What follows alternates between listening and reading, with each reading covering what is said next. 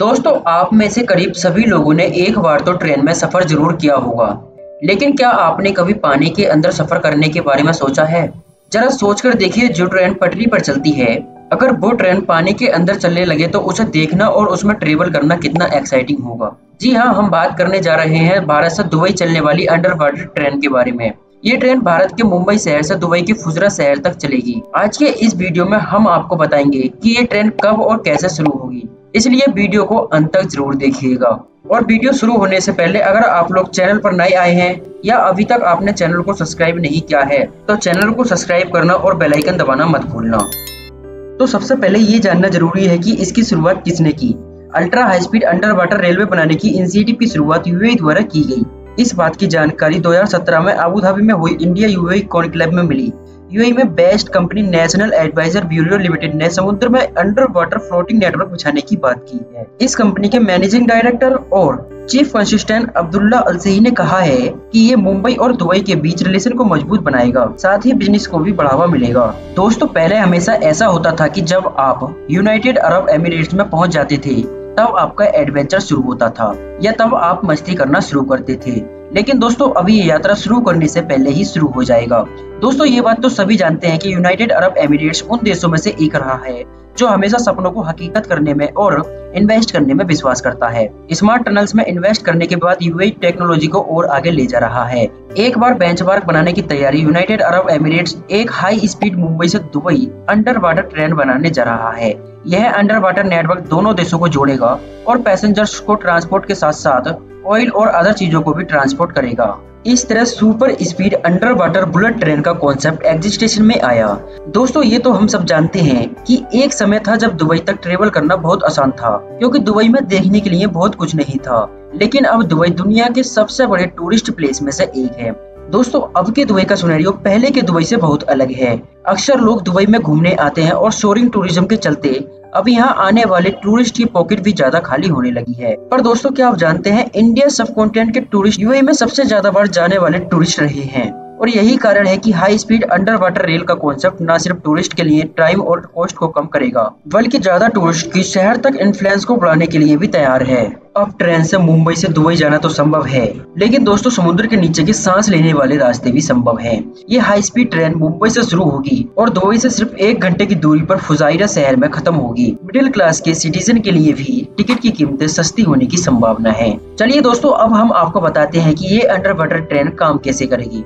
और कैसे एक या दो घंटे में दुबई तक पहुँच जाएगी? सुरंग का कॉन्सेप्ट एक बेल नोड टेक्नोलॉजी पर आधारित है, जो floating bridges immersed tunnels and offshore structure पर अप्लाई होती है। फ्लोटिंग अंडर वाटर टनल में टू कर्व्ड कंक्रीट ट्यूब्स होती हैं, जो इनएब्रेंसी प्रोसेस के नीचे डूबे रहेंगे। इन अंडर वाटर टनल को पॉन्स ट्यून से जोड़कर स्टेबलाइज किया जाएगा, जो शिप्स को गुजरने के लिए अलाउ करेगा। दोस्तों, हम आपको बता देते हैं कि वाटर ट्रैफ़िक और मौसम से बचने के लिए इन ट्यूब्स को काफ़ी गहरा रखा जाएगा। साथ ही सुरंग वाटर टाइट होगी, जिससे सेफ्टी वाटर का रेजिस्टेंस होगा और उस पर यह हाइड्रोस्टेटिक फोर्स का सामना करने में सक्षम होगी। सुरंग के अंदर वैक्यूम बनाने में मिनिमल एयर रेजिस्टेंस के कारण ट्रेन की ट्रेमेंडस स्पीड होगी। मुंबई से दुबई के बीच अंडर वाटर रेल के कॉन्सेप्ट को हकीकत में हिलाना एक बहुत बड़ा काम है। और दोस्तों, ये तो हम सब जानते हैं कि इसे बनाने में बहुत सारा फाइनेंशियल एंड इंटेलेक्चुअल कैपिटल लगेगा। दोस्तों, हैरान करने वाली बात तो ये है कि अरब सागर के नीचे एक हज़ार आठ सौ बासठ किलोमीटर से ज़्यादा की कुल दूरी महज दो घंटे में की जाएगी। इस दूरी को कवर करने के लिए ट्रेन की स्पीड लगभग 600 से 1000 किलोमीटर प्रति घंटे की लिमिट तक तय की जाएगी, जो निश्चित रूप से एक प्लेन की स्पीड और इसकी कटिंग फीचर्स के मामले में स्पीड को हरा देगी। दोस्तों, हमने ये बात तो कर ली कि यह ट्रेन काम कैसे करेगी। तो चलिए, अब हम आपको वीडियो में आगे बढ़ते हुए, अब हम आपको बताते हैं कि इस अंडर वाटर ट्रेन के क्या क्या फीचर्स हैं। तो सबसे पहले हम इसके पहले फीचर्स की बात कर लेते हैं। हाई स्पीड मुंबई से दुबई तक चलने वाली ये ट्रेन अंडर वाटर मुंबई से फुजेरा शहर तक चलेगी, जो कुल 200 किलोमीटर की दूरी तय करेगी। नंबर दो, अब अगर दोस्तों हम इसके सेकंड फीचर की बात करें तो यह अंडर वाटर रेल 200 किलोमीटर की दूरी को तय करने में समय लगभग दो घंटे का लेगी।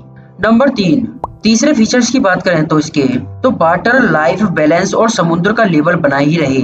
और साथ ही में रूस की यात्रा प्रभावित न हो, अपने आप में ही ये सुनिश्चित एक बहुत बड़ी चुनौती होगी। नंबर चार, चौथा फीचर्स है इसका स्टेट ऑफ़ आर्ट डिज़ाइन। इसकी सटीकता के लिए महत्वपूर्ण है और high speed under water rail के डिज़ाइन को इसके थॉटफुल के वाइडी से सराहाया गया है। तो दोस्तों, अब तक तो इस वीडियो में हमने आपको बता दिया कि कैसे ये अंडर वाटर ट्रेन चलेगी, कैसे काम करेगी और इस अंडर वाटर ट्रेन के क्या क्या फीचर्स हैं।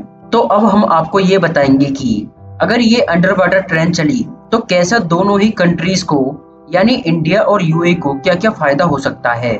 नंबर एक, इस रेल नेटवर्क का यूज़ करके पैसेंजर्स टूरिस्ट एंड वर्कर्स को गोल्फ करप्शन काउंसिल यानी कि जीसीसी देशों और भारत के बीच ट्रांसपोर्ट किया जा सकता है। नंबर दो, फुजेरा पोर्ट से भारत में एक पाइपलाइन के माध्यम से तेल और गैस पहुँचाया जा सकता है। नंबर तीन, मुंबई के नॉर्थ में नर्मदा नदी में हर साल बाढ़ आती है। इसलिए नर्मदा नदी से बचे पानी को पाइपलाइन के माध्यम से यूएई में एक्सपोर्ट किया जा सकता है। नंबर चार, गुड एंड कॉमोडिटीज को दोनों देशों के बीच ट्रांसपोर्ट किया जा सकता है।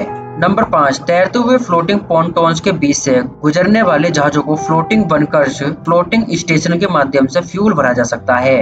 दोस्तों, अब हम आपको बता देते हैं कि यूएई के नेशनल एडवाइजर ब्यूरो लिमिटेड के डायरेक्टर अब्दुल्ला अलसही ने आबू धाबी में आयोजित United Arab Emirates India conclave में बोलते हुए कि लाइन न केवल अरब सागर में लोगों की आवाजाही की सुविधा को प्रदान करेगी, बल्कि तेल और पानी के लिए पाइपलाइन भी होगी। खलीज टाइम के रिपोर्ट के मुताबिक यूएई भारत को तेल एक्सपोर्ट करेगा और भारत यूनाइटेड अरब एमिरेट्स को ताज़ा पानी का एक्सपोर्ट कर सकता है। तो दोस्तों, आज की वीडियो में बस इतना ही। दोस्तों, अगर वीडियो पसंद आई है तो वीडियो को एक लाइक करके चैनल को सब्सक्राइब करना ना भूलें और साथ ही बेलाइकन की घंटी को भी प्रेस कर दें। मिलते हैं अगली वीडियो में।